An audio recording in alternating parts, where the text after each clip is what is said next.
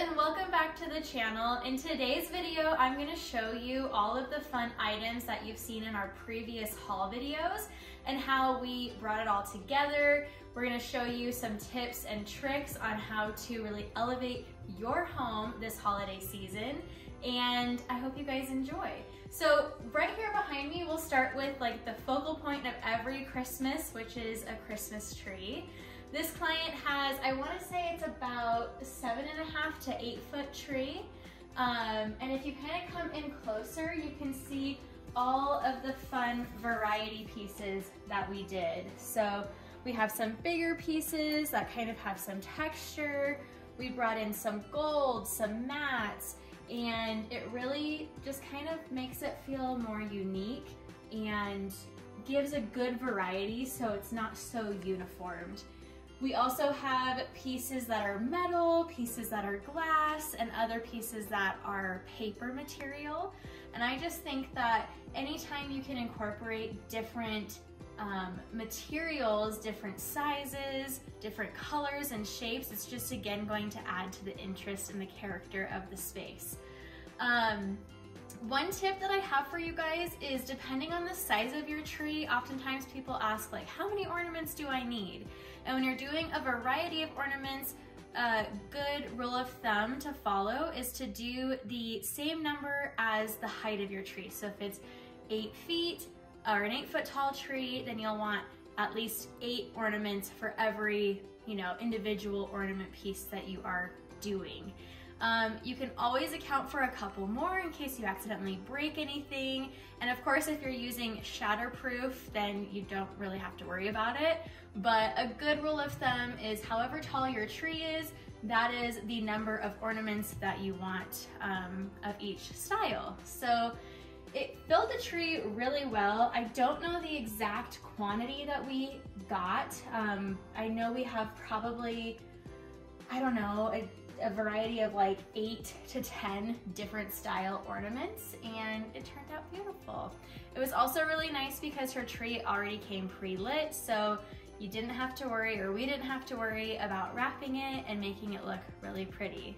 Now, just behind us here, we have these really fun paper stars.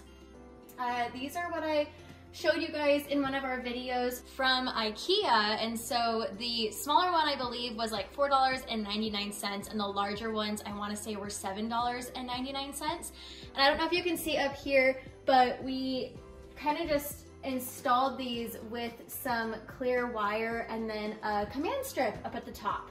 So it doesn't really call your attention to it very much and it is just the perfect filler for this cute little corner. And then right over here, we had that beautiful console table and I wanted to do something that just kind of pulled all of the magical moments from the Christmas tree into the TV area. So we did this beautiful Studio McGee um, garland and I wanted to bring in some light and some different heights. So that's why we brought in these cute fairy lights, our cute candle set that we got from Hobby Lobby, and we shared that with you guys in our Hobby Lobby Christmas haul. Um, and then another thing that I thought was really fun that kind of just like personalizes it a little bit is we got these really cute presents and we have a um, local artist that we work with. She does a lot of our photos and so she had these custom printed, which I just think is fun if you can find ways to incorporate something that just feels a little bit more unique and isn't just readily available at places like Hobby Lobby and Target. And then another thing that was a really exciting find are these super cute star ornaments. And we kind of have them, um, they're installed here with like this clear wire. So they're hidden, the wire is hidden, but we did different sizes and then we put them at different heights and I just think it finished the space off really well. Now, because this is all one room, I wanted to do just a couple of little things to the living area. So we got these really pretty stems with cranberries, some, you know, a couple of Christmas pillows just to kind of like add to the festivity. Um, or add to the festive feelings, if you will. And then our large gold pine cones, which I was so excited about when we found these at a local store here in Utah. Um, they're just really classy and timeless and they filled the space perfectly. So now that you guys have kind of seen the living area, I wanna just touch on the beautiful tablescape that we did in the dining room. So here we are in the dining room and one thing that I want to call out are these taper candles. This was really fun because we did more of an eclectic feel. So you have these different heights and different variations and different color finishes, not only in the candlesticks, but in the actual taper candles themselves. And I just feel like that adds so much to the space. So one thing that I would encourage you guys to do when you're creating your tablescapes is to definitely bring in variety, bring in different heights, and it's gonna just add to that festive kind of feel that we all really love. Um, speaking of candles, one other thing that we did is some more of those cute fairy lights because let's be honest, nobody is going to probably light these candlesticks. That seems a little bit like a fire hazard, so we still wanted to bring in that ambient lighting and we did that through one strand of fairy lights and it looks really cute up against more of that beautiful Studio McGee or McGee & Co. garland. And then we added in some really fun golden figs and our client had these cranberries. So we just kind of sprinkled these throughout to add more color and just more interest to the space. And then we added some more color with these beautiful linen napkins. And these are those cutie bell napkin holders that we got from McGee & Co. And these plates are from Pottery Barn, which I liked that they weren't too busy. They didn't bring in a lot of color, so it really just kind of, you know, neutralized that part of the table, so it didn't take away from everything else that we have. And then the final thing that we added were these really cute little wreaths and we have them secured with the command hooks yet again. So I would say that's probably one of my biggest tips for you guys are to bring in some command hooks because they go a long ways and they won't ruin your walls or they shouldn't ruin your walls and they shouldn't ruin your furniture as well. So that's gonna do it for the dining room. And then I will have you kind of just zoom over here to the kitchen and we'll look at some of those pieces as well. Here we are in the kitchen and we did just a couple of accessories because this is all one open space. We didn't want it to feel like we forgot one area and everything else is all decked out in holiday cheer. So this is a really cute bread bowl that if you've seen our fall holiday tablescape, then uh, you will remember this piece. We originally had it filled with pumpkins for the fall time and now we filled it with these beautiful flocked real pine cones from Hobby Lobby, some really cute bells in our Walmart Christmas haul, as well as some more of those cranberries that our client had. And that's what I love about a piece like this, is it is so versatile. So you can use it for all seasons, you can get really creative with it, and you can put it, you know, in several different areas of the home. So this is a great find and probably one of my biggest tips that I could share with you guys for any type of holiday decor because it's a year-round piece. Um, over here, just behind me, we have just a couple of little things trickled throughout. Um, didn't want to like really overdo it, so we brought in this really cute light up house that's also from Hobby Lobby and filled it with, you know, just some cutie little bottle brush trees. Our client had these cinnamon sticks and our client had these really cute little holiday prints that she made. So we wanted to use those and bring in some height with the really cute Christmas tree. We added a darling green wreath with some beautiful um, velvet ribbon just to add a little touch over the microwave.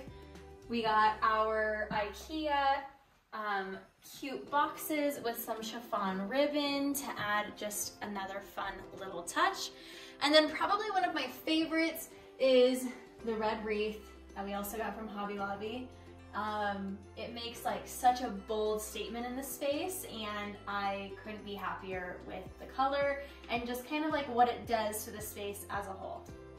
Okay, just kidding. We have one other item that I forgot to touch on and that's this cutie little um, towel. I loved that it had kind of that frayed edge and it had this embroidery stitch super cute piece that doesn't feel like over the top cheesy. Um, it just again adds to elevating your home for the holidays. So now that you guys have seen kind of the main area, I wanna show you one other area in the home and that is the entry. So let's go take a look.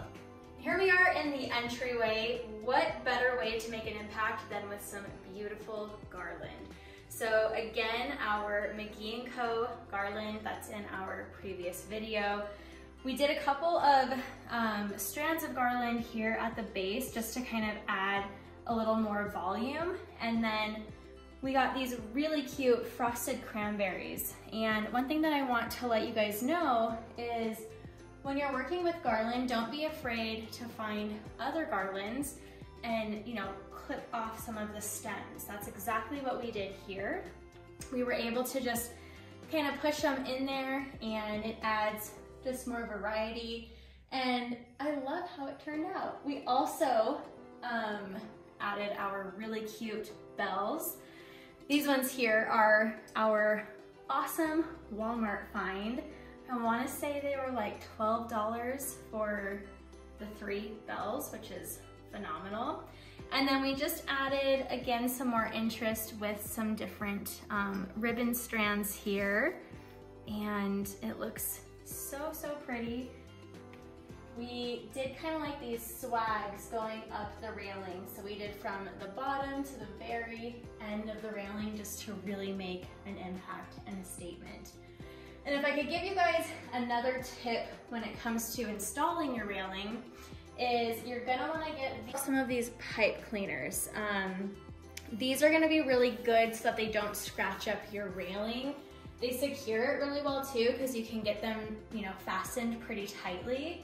Um, and what we did, because garland obviously doesn't come in this amount of length, I mean, I'm sure it does, but it would be outrageously expensive.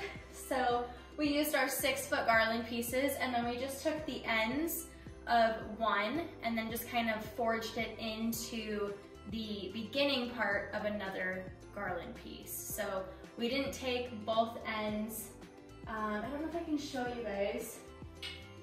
Oh yeah, I can maybe show you up here. This is what I refer to as an end. So you have kind of this loop. What we did was we took that section and we forged it together with the starting section of a new garland piece, which basically just looks like this, and secured it so that it looks like one continuous strand, if that makes sense. But turned out really pretty. And McGee & Co.'s garland is like top notch. So if you haven't already, be sure to go get some. I think that they're still available. And then the final couple of items in the entryway are just behind you guys. So we got these really cute wreaths with some different ribbons again, just to add some interest and these really cute cone-shaped golden bells. We also made some prints on Canva and got them framed in IKEA frames. And we felt it just finished the space off really well with all of the beautiful millwork uh, it has in here. So one final thing that I wanna touch on is just how we installed those pieces. Um, the big wreaths were with another big command strip that holds up to 15 pounds. So anywhere that you can use that kind of material, a command strip. I highly recommend it just so then you're not hammering into your wall for all the different seasons and um, it just looks a little bit more clean. So I hope you guys enjoyed this video. Um, if you have any questions or if you wanna see some additional content like this, be sure to let me know in the comments below. And if you are new to the channel, don't forget to hit the subscribe button and the notification bell so that you don't miss any future videos. And that'll do it for today. I'll catch you guys in the next one.